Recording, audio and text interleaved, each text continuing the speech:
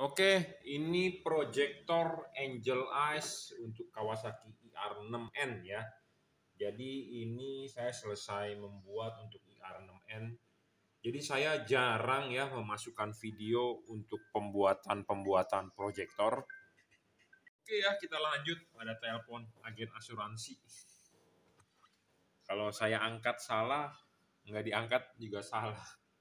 Ya, oke ini untuk Kawasaki IR6 jadi saya udah jarang membuat review-review pemasangan proyektor, tetapi kali ini agak senggang ya. Eh, kita review. Jadi ini proyektor untuk Kawasaki R6N, jadi Kawasaki 650 cc yang tahun 2012-2013. Ya, ini adalah double double proyektor ya atas bawah.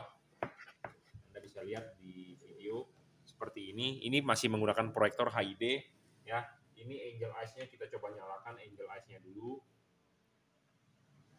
Jadi ini angel eyes-nya model BMW ya, model BMW uh, menggunakan akrilik.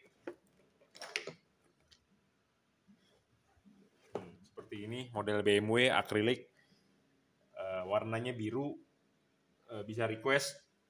Ini di order untuk aduh lupa saya.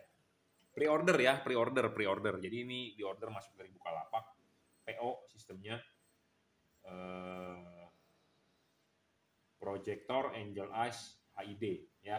Nah ini masih menggunakan HID, HID-nya atas bawah ya. Nanti kita akan kasihkan kabel setnya dan dia juga high low. Jadi masing-masing proyektornya bisa jauh dekat. Ya bisa jauh dekat masing-masing proyektornya. High beam dan low beamnya bisa jauh dekat.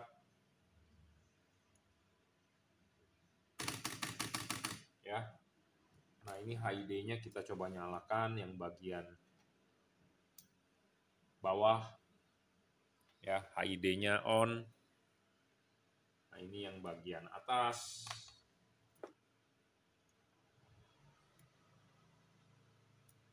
Ya, bagian atas. HID ya. Jadi ini untuk Kawasaki IR6 Anda tinggal pasang aja PNP satu paket. Nah, kalau Anda berminat, Anda bisa WhatsApp saya 0898 Saya bisa bikin buat semua motor sih sebenarnya, ya. E, masih bisa tapi masih menggunakan proyektor HID ya, bukan proyektor LED. Ya, seperti ini. Oke. E, untuk Kawasaki IR6N ya double proyektor model susun ya. Terima kasih. Oke, ini packaging aslinya ya.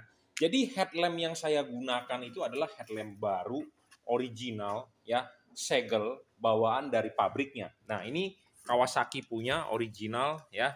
Biasanya ada tulisan part numbernya. Nah ini Uini part ya.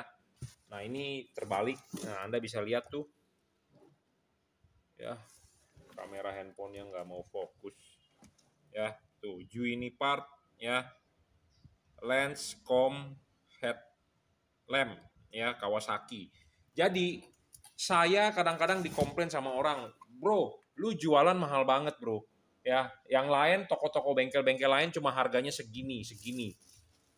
Oke, saya bisa jelaskan kenapa. Karena saya menggunakan headlamp itu original, asli dari pabrik Kawasaki, bukan menggunakan reflektor KW. Ya, karena kan membuat begini perlu yang namanya reflektor. Banyak di online yang menjual reflektor KW atau banyak yang menjual barang bekas lelangan atau bekas apa suka pakai istilah baru tetapi apa loose pack baru tetapi e, copotan loose pack segala macam. Istilah-istilah itu untuk mengelabui Anda bahwa itu dibilang baru. Padahal barang tersebut adalah barang reject atau barang KW atau barang yang tidak lulus pabrikan. Biasanya Yamaha itu yang mengeluarkan ya atau Honda pun ada. Jadi mungkin ada cacat sedikit di kupingnya patah. Nah, Honda tidak bisa menerima. Nah, itu barang tersebut diretur. Nah, itu nggak tahu gimana caranya bisa keluar ke pasaran ya daripada dimusnahkan kan mungkin habis uang ya. Nah, itu di dijual ke pasaran rembes. Ya, nah, rembes hanya ada di online biasanya barang begitu ya, yang punya kenalan baru bisa beli dalam jumlah banyak. Nah, ciri-cirinya adalah dia tidak ada packaging aslinya. Nih, Anda mau lihat kalau original, ini plastik pertama, plastik kedua, plastik ketiga, plastiknya aja udah beda ya. dibungkus lagi pakai beginian tuh kalau ini di Kawasaki busa-busa ya segala macam jadi supaya safety ya jadi janganlah berkomentar bro lu jualan mahal banget bro di toko sebelah cuma segitu monggo nggak masalah ya karena ada harga ada kualitas kita memberikan servis yang terbaik ya kita menggunakan headlamp original dari pabriknya langsung ya. Bukan menggunakan barang copotan barang bekas barang KW barang e, lelangan barang luspek apa segala macam tidak ya. Pakai yang original yang terbaik ya. Terima kasih